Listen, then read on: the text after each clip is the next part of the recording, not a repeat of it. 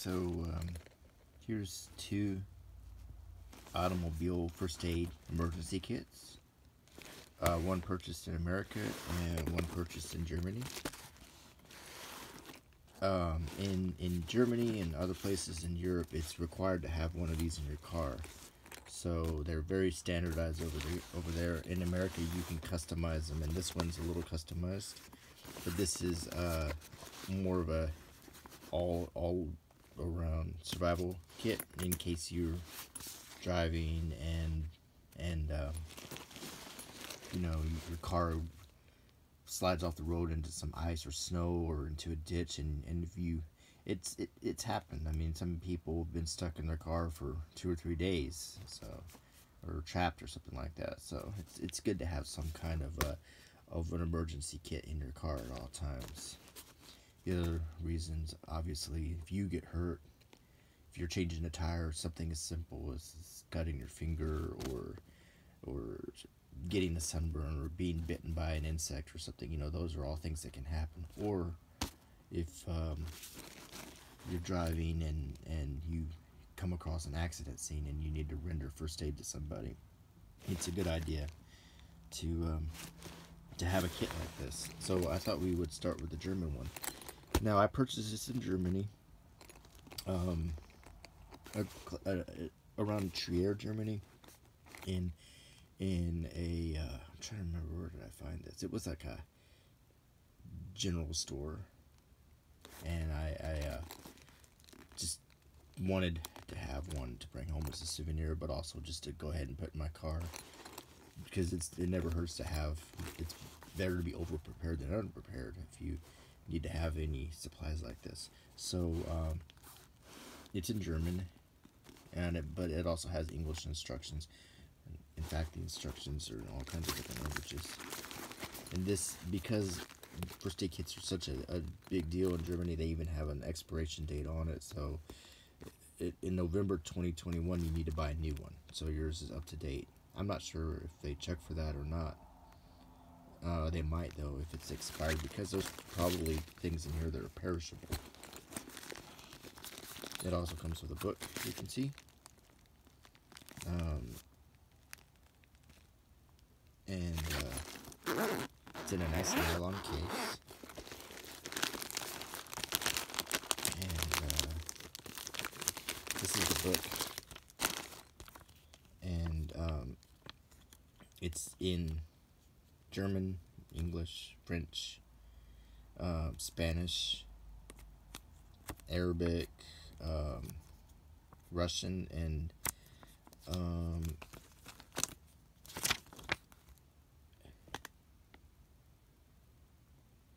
was that polar? Uh, Russian, and I'm not sure what that. Polish, maybe? I'm not sure. I apologize. Someone can correct. Someone can add it in the comments on the end. But um, there's all your instructions in different languages, which is good in case um, you're hurt and someone is helping you and they grab this and they need to re refer to something like how to do CPR or treat a burn, apply a band-aid. Basic instructions in here.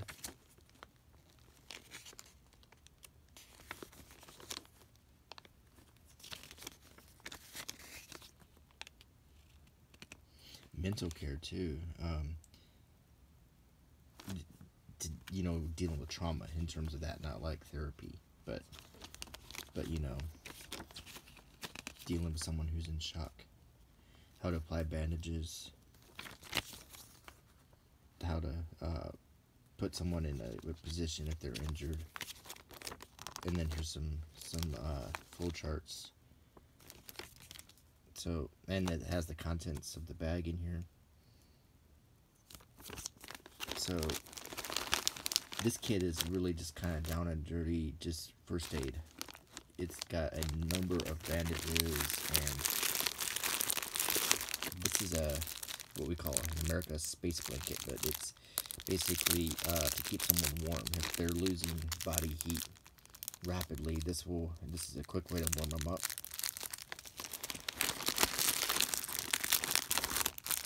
Um, big triangular bandages.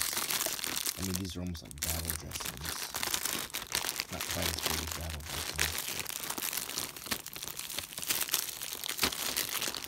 Here we have uh, these angled scissors designed to cut sleeves or pants legs or whatever to access a wound so you can provide treatment. So you can cut like that without poking somebody. That's, that's the reason for the shape. Tape.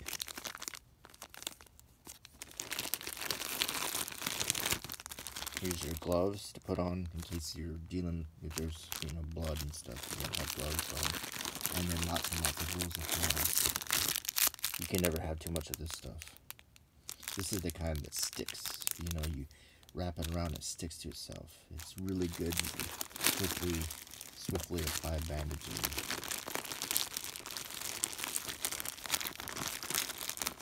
So you got a lot of good stuff in here. If you're in a situation where you need to render first aid, or if you've been, or you, or your loved one is injured, you'll have a lot of what you need. On this side,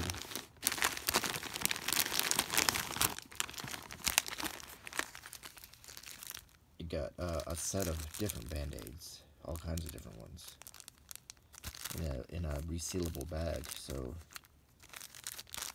you know, just depending on and it tells you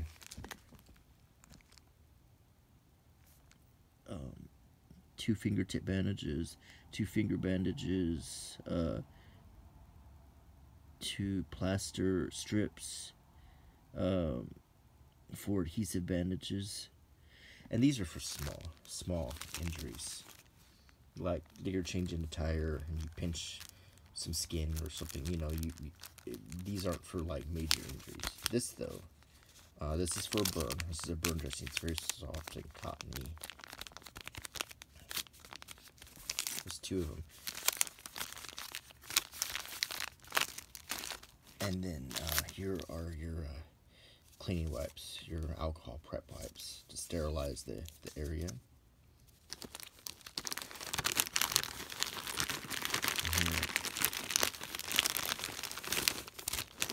Big old bandages, wound compresses.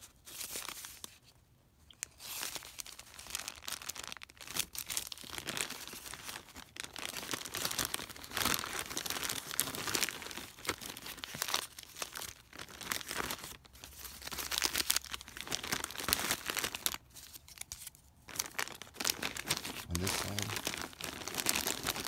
we've got uh, more gauze wider gauze for bigger wounds, and there's four rolls of that. So you're um, with this kit in hand, you're adequately prepared to deal with, uh, with significant wounds or burns.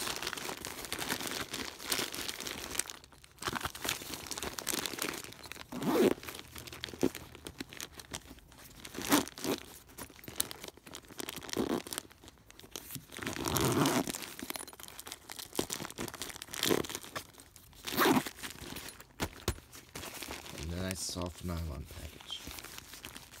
So it fits right under your seat, as well as this one. And this one is uh, the Eco Safety, very sturdy recycled material. Handle, nice zipper, nice metal zipper, lanyards.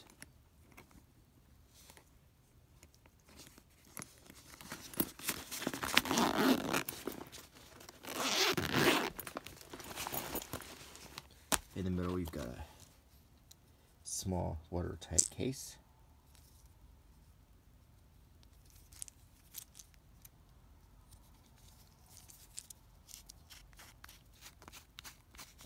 Inside the case, some matches. They're waterproof matches. And I think that might be a striker strip. No, there's one in here. There's a striker strip in here to strike the matches on.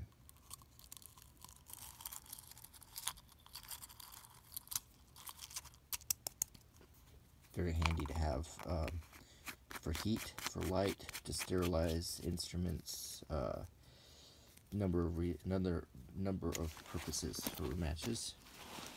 Here you have uh, a slightly different pair of scissors than in the German kit. Not quite as well made, but still, you know, it's good to have scissors. These are for splints, for like if you break your finger. You know, you would wrap that around. Tweezers. Pull out splinters, what, whatever, all kinds of purposes. This is uh, antibiotic ointment. So if you have a wound, you clean the wound first and then put this on to um, reduce the chances of infection. A few, piece, a few packs of that. Um, here you have uh, two kinds of painkillers. Um, if your patient or yourself is in pain, you have aspirin or non-aspirin, acetaminophen. Uh, you can administer this to help someone get more comfortable, ease pain. It can help with headache, sunburn, blisters. It, you know, it, it, it's better than nothing. It's not like medical. It's not like hospital grade painkiller, but it might make them comfortable enough until emergency services arrive. Here is um, a few packs of burn cream um, with aloe vera, mostly to soothe the pain of a burn, whether it's sunburn or um, a burn sustained while working on an engine or in a fire or something like that. Here's uh, alcohol prep pads. Excellent way to clean yourself and the person its injuries before you apply bandages or ointments. Uh, several of these. Insect sting relief. Say the injury, it, say you're changing a tire and you get stung by a wasp or a bee. Put this on, and it's a little towel, and it'll reduce the pain. Most of these things are temporary fixes, you know. Now it opens out, kind of butterflies out now. Here in this pocket, several of these uh, quick, quick clean antiseptic hand wipes to for a number of reasons, whether to clean your hands before you treat yourself or somebody else. But hygiene is very important. Um, if you're dealing with wounds or to kill the germs and everything. It's it's very very important to keep infection from spreading. Here is the American First Aid Guide, and in this case,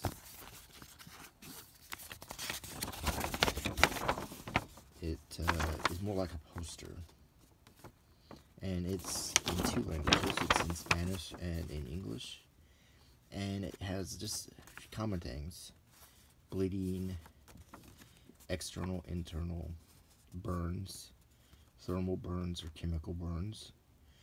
Chemical burns can happen if you're working on an engine or if there was an accident involving some truck hauling chemicals or something like that.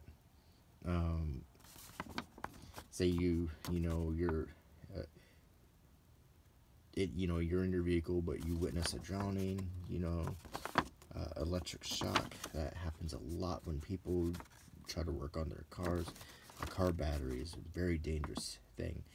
Uh, one common cause of injuries is people buy jumper cables and they don't know how to use them. Um, and it's it's funny to me. This is something they should teach in schools, in my opinion, is how to use jumper cables, how to properly use them. But the short lesson here is you you have your jumper cables and you have a, the, the little clamps are two colors red and black. And on your car battery you have uh, two poles on your battery a positive and a negative. So that's on two car batteries when you're trying to jump. So what you need to always do is put the red on the positive the black on the negative and you always start on the car that has the power the car that's not dead. Then you hook them up to the dead battery the same way pos- red on positive black on negative and then you start the engine. So you do it in those steps because if you do it wrong you can best case scenario you can short out your car. And worst case scenario you can electrocute yourself.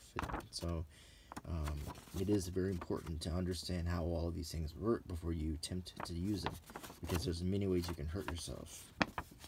Um, fainting fractures frostbite frostbite's another thing see wintertime is now I live in the balmy tropical south where we don't have harsh winters, but if I'm on the road, um, there's some places where the snow is really deep. You can get stuck or in the snow, and no one may even come across you. The snow could pile up over and hide signs that there was ever an accident.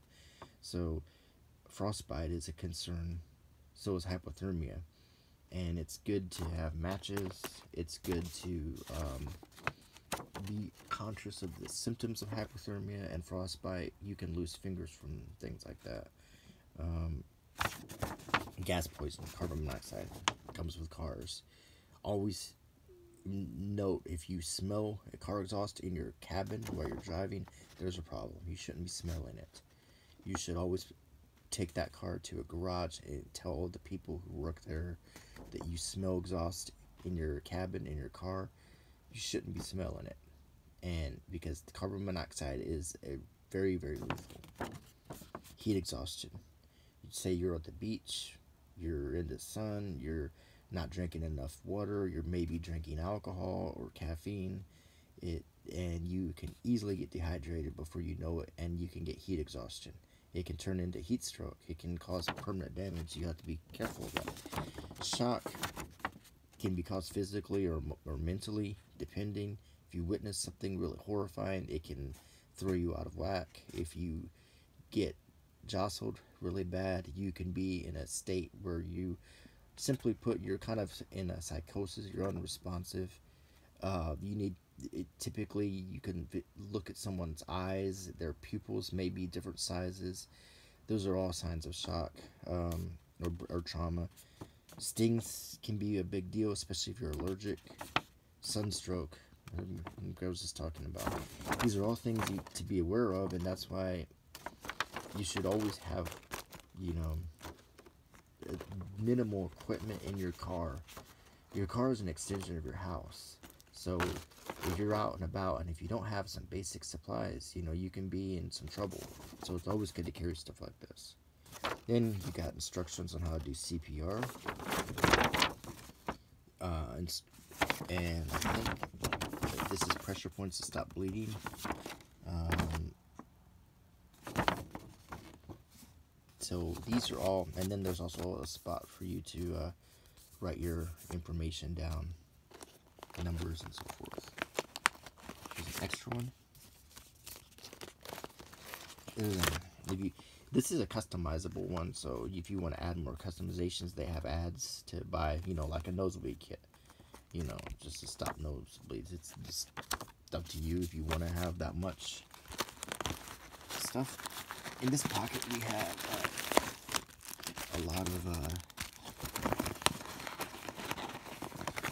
basic injury preparations, gauze pads, big ones, and an extra absorbent one. Um, it's uh, for you know uh, find the pressure point, try to get the bleeding to stop, clean the wound, put some kind of uh, antibiotic preparation on it, and slap this on, and then affix it with, you know, gauze or tape, or both. You can easily use these as a tongue depressor or as a splint. Most likely these are going to be for splints. Mostly to keep a to keep things from moving. Cotton swabs uh, to not to clean your ears, but to apply things without having to use your fingertips, you know, to apply ointment or whatever, without having to risk contamination with germs and so forth. Another extra pair of plastic tweezers that lock really tightly. Safety pins uh, serve a number of purposes. Uh, they're most importantly to uh, clamp things together. I mean, whether it's a, a, a big dressing uh, for a wound or to keep something up, or I mean, they're very, very useful tools. Some tape, good sticky tape, and smaller gauze pads.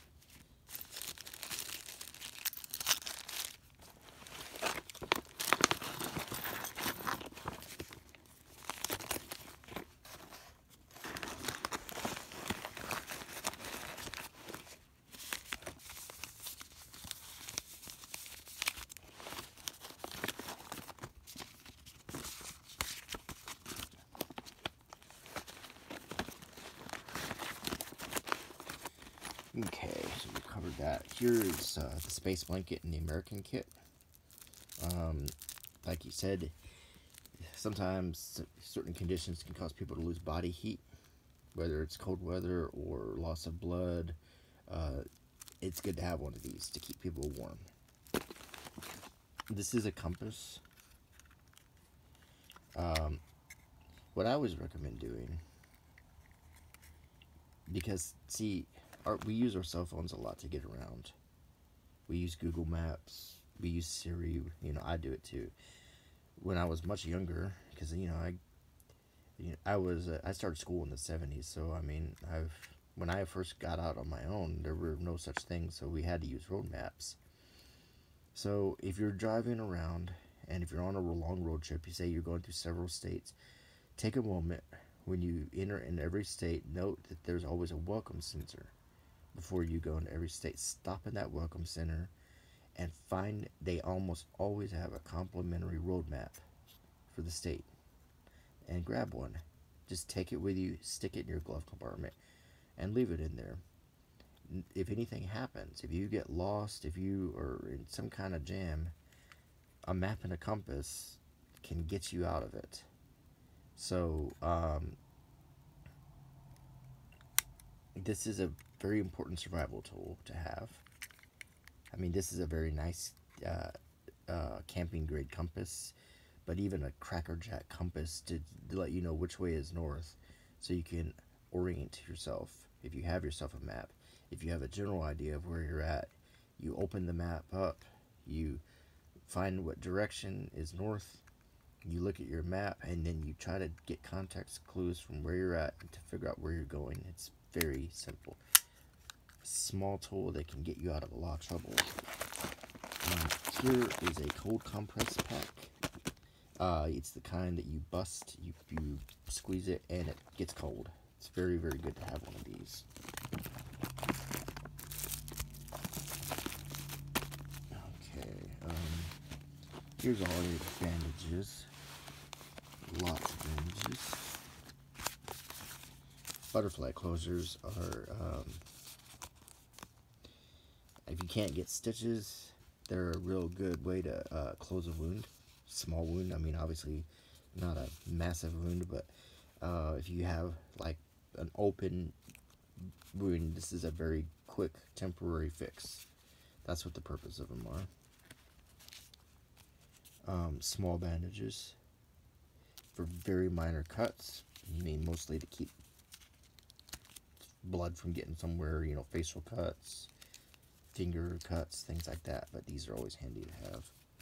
Uh, finger bandages, basically for a cut on your finger that doesn't, you know, just to keep to keep it clean. You clean it with an alcohol prep. Stick one of these on. A whole bunch of adhesive strips. Lots of bandages.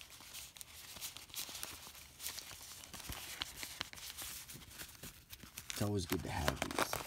And as you can see, there's lots of extra pockets on here. for customization. So you can think about the things that you want to add to your kit to make it for say you live somewhere you know in a cold climate you want to have more stuff like toe warmers or, or what have you if you live in a hot climate you might want to have um, more things like sun heat burn creams or things to treat um, you know sunburn and so forth. Maybe some more tylenol maybe some aspirins. Another thing you could have if you say you're up in the mountains idaho colorado whatever um, some people recommend having iodine. So if you are out of water and you can't get to a convenience store to buy water if you find a brook or a stream, it's always a good idea before you drink the water to drop some iodine in it. Or there's also water for your purification tablets. That's something you might consider putting in your kit. Um, you know, so some people might want a small vial of iodine.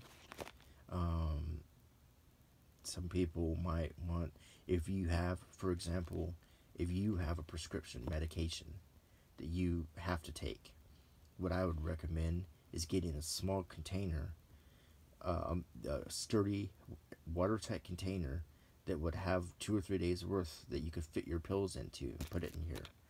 So, say you were in a jam, you were out somewhere where you weren't in contact with people or stores or telephones, you have your necessary medication.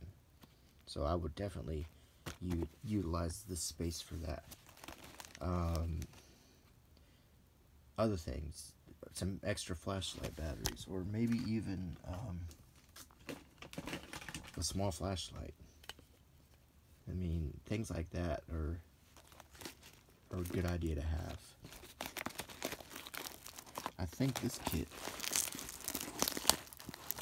yeah, underneath the the cold pack, yeah, this kit has uh, rubber gloves and it also has a finger light that you can, there's a little Velcro strap, and you stick it on your finger, and then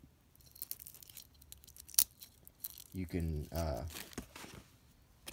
if you need to put bandages or whatever on, you've got that little light there.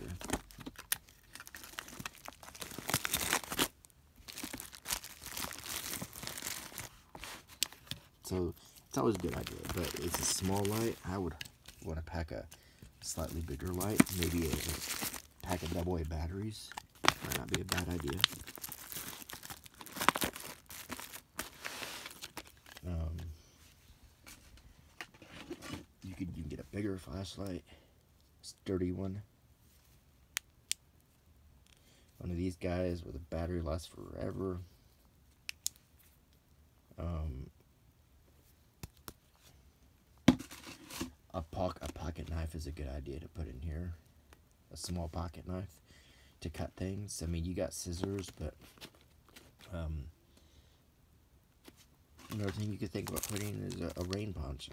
A rain poncho. So if you're going to be um, changing a tire or whatever in the rain, and you don't want to have soaking wet clothes, open this kit up and have a rain poncho in there And look.